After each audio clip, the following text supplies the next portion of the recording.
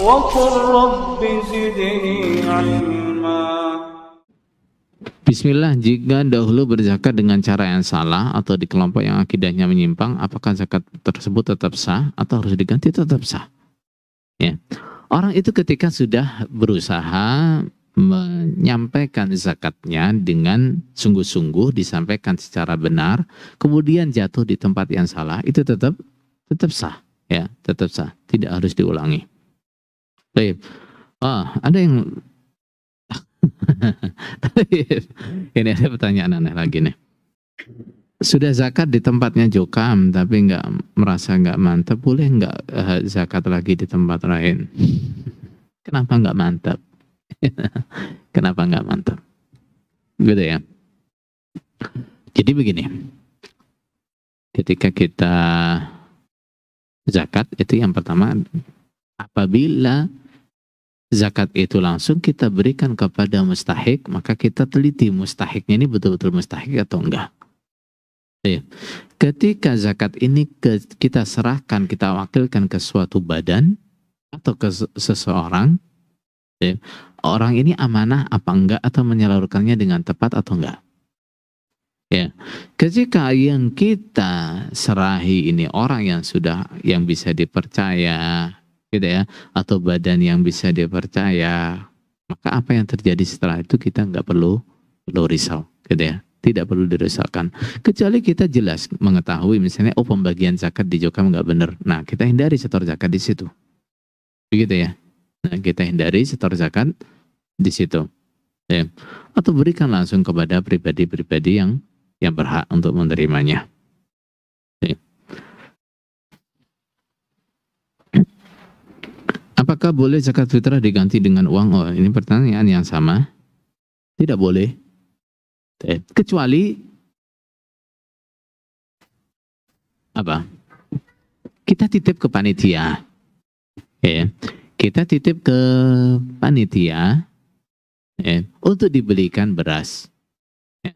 Saya titip uang, tolong berikan beras untuk zakat fitrah. Boleh.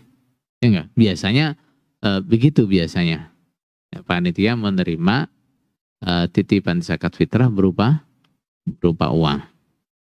E, kemudian e, catatan nih ya, panitia-panitia zakat yang tidak ditunjuk oleh pemerintah atau tidak punya izin dari pemerintah supaya diketahui bahwa yang dilakukan oleh panitia itu namanya apa? tabarru namanya apa?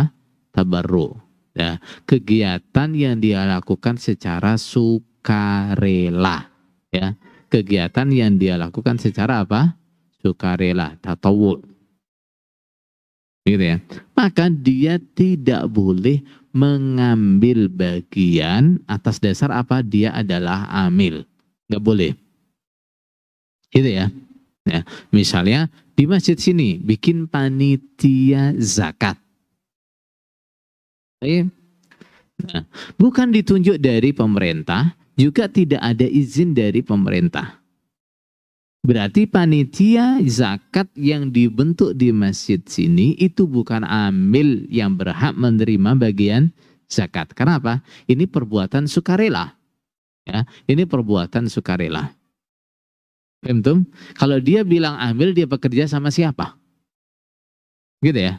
Nah, orang kerja itu ada kalanya ditunjuk oleh yang punya kerjaan, yang punya pekerjaan ini siapa? Pemerintah. Ya, dia pemerintah nunjuk kamu ambil, kamu jadi ambil, kamu jadi ambil. Atau dia melamar eh, melamar untuk kerja sebagai amil. Nah, termasuk lamaran itu berupa misalnya apa? Misalnya kita punya yayasan kemudian mengajukan izin kepada pemerintah untuk mengelola zakat. Nah, berarti ini sudah apa? Ada apa namanya? Ada izin dari pemerintah. Bisa dikatakan kita bekerja untuk untuk pemerintah, maka kita boleh. Nah, kemudian panitia di situ atau yang bekerja di situ boleh mengambil bagian amil. Tapi kalau ini tidak ada izin, ya, juga tidak ditunjuk, nah, kemudian bikin panitia sendiri, maka dia tidak berhak untuk mengambil bagian zakat.